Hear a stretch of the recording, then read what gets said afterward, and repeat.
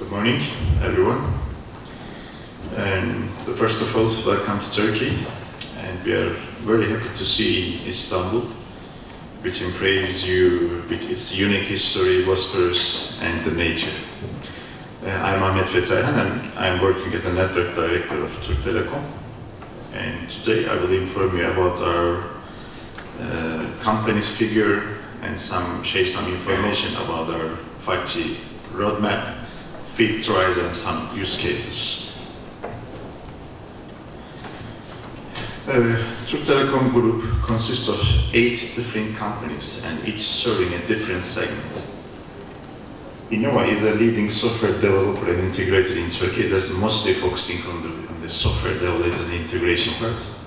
And TT Mobile is our mobile companies, companies. TTNet is a broadband companies, Türk Telekom broadband service companies that, uh, that offer some fiber and the XDSL-based services. And Türk Telekom International is the international arm of the group, wholesale data voice and roaming services for the international part from, because uh, the geographical location is, uh, Turkey is very crucial, you know, from the east side to the west side, it's so crucial, so the Telekom International connected each other. And the Netsia and Argela, uh, the next generation telco technology and R&D companies, Argela is located in Istanbul and Ankara in Turkey, Netsia is located in San Francisco. And Assist is a leader customer service solution companies. It's offering some uh, service solution as a call center. And the Summit is a leading and largest edtech company, I mean education technologies company in Turkey. And the last one is venture capital company. We are looking for some startup firm and integrated with our solutions in our company. Uh, let's take a look to Telekom in numbers. Uh, you know, the leading operator in Turkey, Integrated Telecom Services, and currently uh, 99.5% LTE population coverage today is more than 32 million fiber home passed already from includes in FTTC, FTTH and FTTB. And currently 51 LTE base stations already, I mean, fiber connected. Our fiber infrastructure is ready for 85% today but it's not been transformed because the traffic requirement has not reached that level yet. So its infrastructure is ready, and day by day will transform from the, uh, the legacy one to the fiber one. And in all the cities in Turkey, we have more than 420k kilometers fiber networks, and the number of employees is more than uh, 38,000.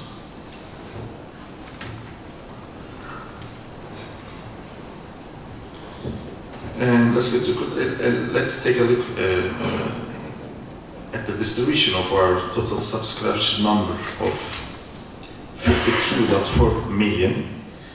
Uh, for the mobile part, uh, we have 25.6 million subscribers on the broadband part. It's 15 million subscribers on fixed voice part. We have 9 million, and the, for the pay part, pay TV part, we have already 2.9 million subscribers.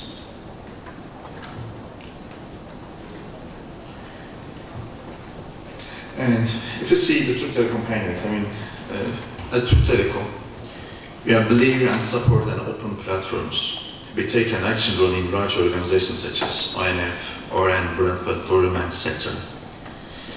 And we also collaboration in next G technology firm, like Juniper, for example, and BRAN, RAN, RIC solution, RAN integer control solution, we have already collaborated and with the Juniper network, for example, and developing that equipment together with them.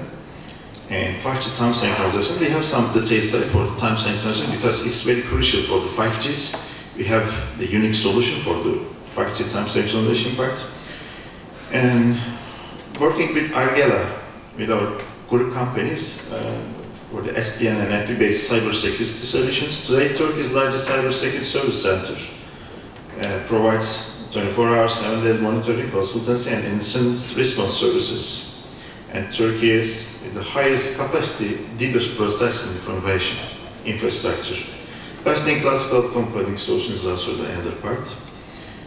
And uh, we, we have some detailed slides for the preparation of the, the pilot with 5G test networks and the first, the, the, the most important and is first industry 4.0 5G test in Turkey. It's done by our companies, Türk Telekom and Arçelik and the Nokia collaboration. Arçelik is a, the, the large home electronics company in Turkey. As the name is Beko in Europe, is also have a, some uh, abilities to get some uh, home electronics company. And this is the first private feature-proof 5G wireless networks in Turkey. It's already working.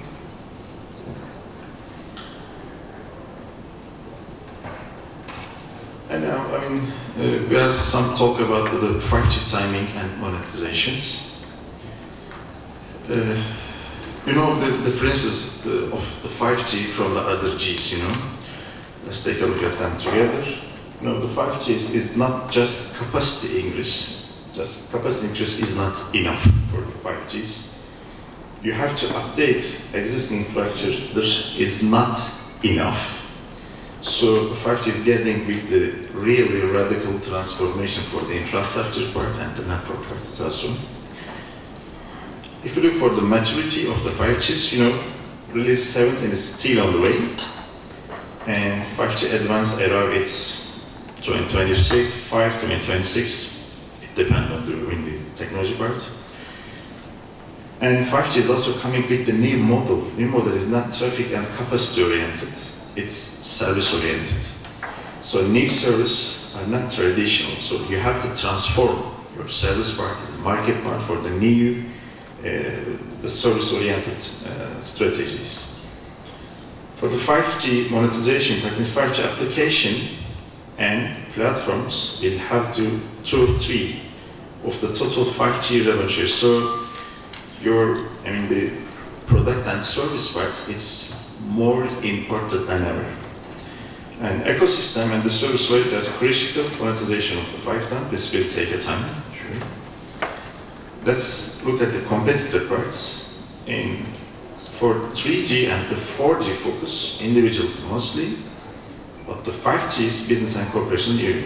Mr. Garo that the 5G is industrial intended, not the, the commercial part. And competition was changed, will change, vendors and OTTs become a competitor of the operators, so industry players changing. So we are not, I mean, they're fighting with the other operator, but also the OTT players also, so it's, it's not easy. So, and the maturity, monetization, competitor positioning, and terminal penetration for this spectrum. So, too many unknowns today in this table, but yes, technology is technologies. 5G is 5G, so we have to transform and we have to switch them. This is clear. Uh, let's look for the LTE times in, uh, for our country and for our company. Even if it was a bit delay in LTE services offering, we waiting patiently and invested in LTE Advance. And in this way, we are able to provide our customer with much higher speed compared to the conventional LTE. So Today, we are discussing with the regulation and the government and the other operators. These are the options on the table. Are we waiting for 5G advance without hurrying in 5G investment or not? These are the options we are just talking with the other um, players in the sector. And let's have a look on Türk Telekom technology roadmap. Uh, Telekom became a technology developer instead of being just a consumer. It's very strategic. And with several projects, uh, we became the first operator in the world to implement SEBA uh, in field. Today, 67k home pass and 70k customer getting broadband internet access from the SEBA platform without any problems. Uh, this is the first development. An open RAN option, uh, approach. We have some trial projects. Uh, open RAN supports in national 5G project, RIG partnership, tries. We are trying to really understand are there any advantages or not. We facing lot of hardness with the integration with the legacy vendors and the open RAN platforms and the open technology. So it's not easy what the, I mean, the open RAN players that set. So it's not easy. We are fighting by trying to understand really it's, it's okay or not. And we show that slide the, uh, the R&D and innovation and efforts of Türk Telekom. Uh, Türk Group's own currently is AD 161 patents and then the 80, more than 81 is the national, and the, the 60 is uh, international parts coming from. And you see the, the technology and division is some of them is SDN, NFV is virtual and CBA and security part, and another one is synchronization and other parts.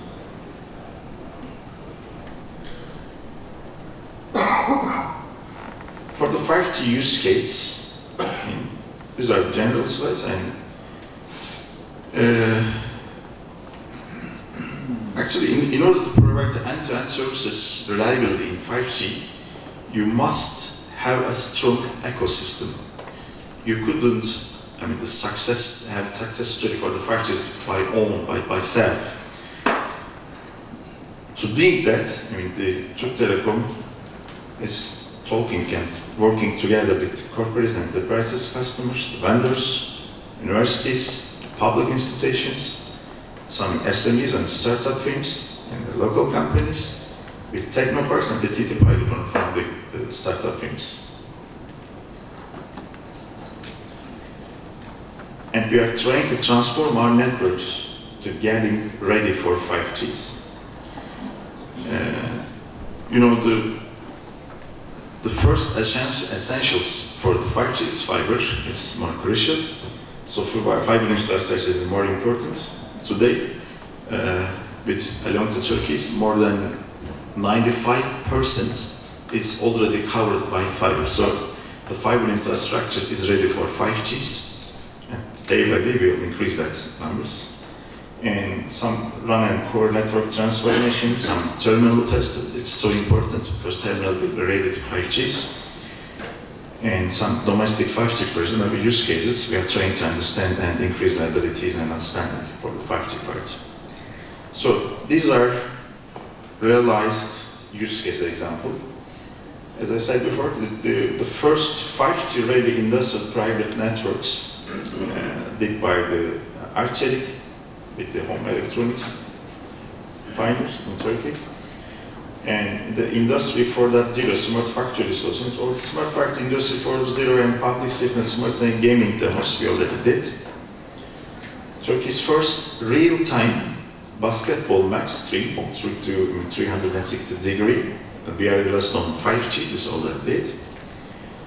And for the, the 5G is 4.5 gigabit, world gigabit per second world speed record also achieved by Turk Telekom in the lab. And for the artificial intelligence part, Turkey is the first operator to test AI on 5G and new generation fixed network service management. For the 5G cloud gaming and 3D video part, or the 5G radio access network, cloud gaming and 3D, 3D video applications also done. And the first online remote surgery with 5G in Turkey is already done. The surgeon using smart glasses performs surgery in real time coordination with doctors located in the other cities and also other uh, the countries, from the Italian doctors and the Turkish doctors together uh, with the, in, the, in, the, same surgery. For the 5G smart agriculture application, uh, we did uh, some use cases with autonomous tractor uh, as part of the digitization effort in the agricultural sector, a trial of the 5G supported smart factories also did. Uh, 5G enabled robotic barista robot cafe with uh, articles and we do a video capabilities at Atatürk Culture Center is behind the streets. And also the Istanbul airport, you can try and take a, a very delicious coffees from the robot coffee. And at the Istanbul airport, we, uh, we have some 5G helicopter simulation, a real flight experience with VR support in one, one, one to one and helicopter dimensions. And to increase the, I mean, the efficiency, we are trying to remote maintenance and support application using AR.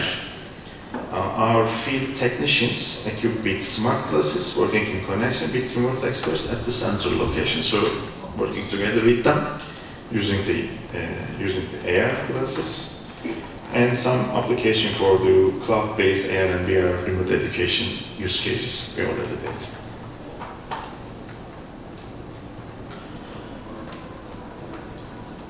So these are the, the 5G users. 5G live tries with friend user for each 5G band in different cities we already did.